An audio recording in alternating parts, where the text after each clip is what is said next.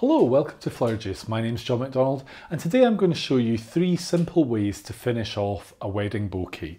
So what we've done is we've prepared a simple hand-tied bouquet here and I'm just going to show you three different ways of doing it. So the way that I really like to do this is to use like a double-sided tape and I learned this a few years ago. Now this is one that you can get from Oasis uh, as an actual product but you can use any double-sided tape you like. Um, basically you get them in DIY stores and it's for carpets. Uh, so what I've done with my bouquet is I've made sure that the stems are really neat and I've bound them at the top where I would normally bind a hand tie, but I've bound them further down and that just brings them all together. So what I'm going to do is just, I've cut a length and I just bring it round and attach it to itself and that makes it very easy to just strip off the film that's on top. So then we're going to cut another little section so the great thing about using the tape is it means that you can be binding your bouquet, the phone goes or you get interrupted, it means you can place it down and then come back to it and it hasn't unraveled. So what we've got is we've really got our double-sided tape over the stems and then we can work. So the first way of binding is probably the most simple and I've got a wide satin ribbon here and I'm just going to put that on. So straight away you can see that that doesn't fall off. So I'm just going to come round and slightly make sure that it doesn't sit like this. I want to come a little bit lower so that it gives a straight edge at the bottom. And then we're just going to work our way up. So the satin ribbon is a great ribbon for giving a nice finish. It's nice and clean, it's nice and firm, and we can just work on this. Now you might have spent the last little while making your bouquet, what I would suggest is please make sure that your hands are clean, or if they're not entirely clean, that they're dry. Because at this point, if you're using like a light coloured ribbon, you're going to find that actually you can make the ribbon dirty, and that's not such a good look. So we've got to the top, and I'm just using good scissors to cut that. So this literally will not unbind now.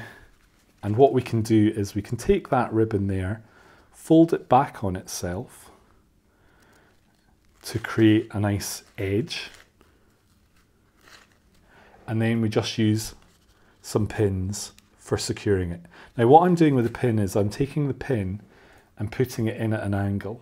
So what I tend to do is I tend to use five and I do the middle of the ribbon, the top of the ribbon, the bottom, and then come back in and do the bit in between.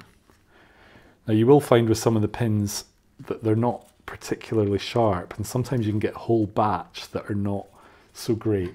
Another trick as well is if you're wanting to move your pin, you can use the end of your scissors just to create a little bit of leverage.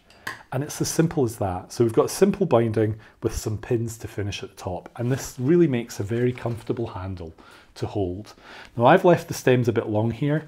What I would suggest is if you've got one third to two thirds, you probably want to cut them about here. But depends on how you want to do it.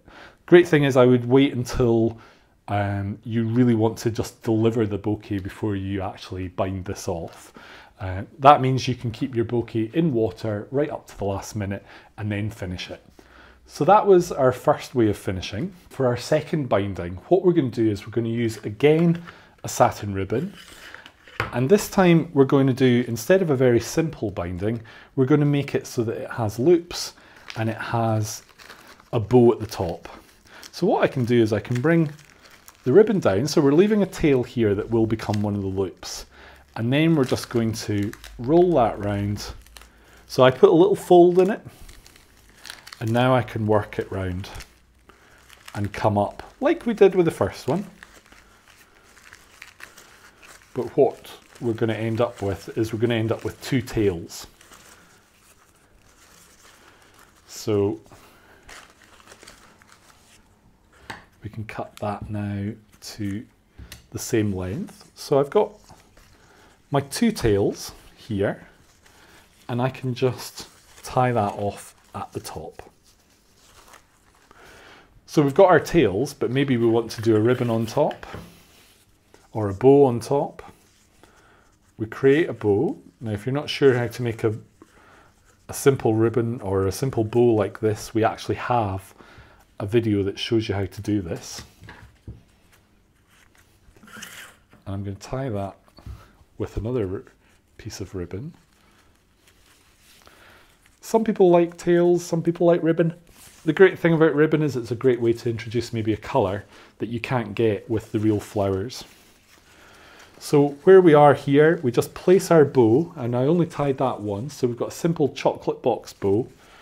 Tie that above, round the back, and then really I can come underneath here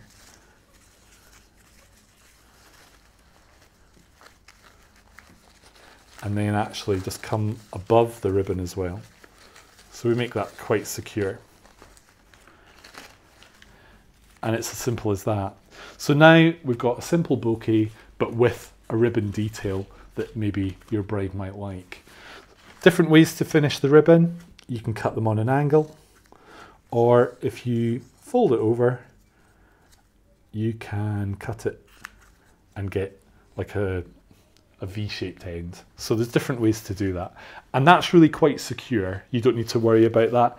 And the finish is quite well, quite good up the top. So again, our second way of doing it. So for our third technique, what I'm going to show you is something more natural. Now, not every bride wants to use ribbon and very much a natural look can be wonderful. So what we've got is we've got an aspidistra leaf and there's different ways you can do this. What you can do is you can cut it and just take a little bit off the stem at the back. So we're taking that, that stem, that kind of vein down to being a little bit flatter and a little bit more flexible. And then we can really just use that leaf going round the bouquet.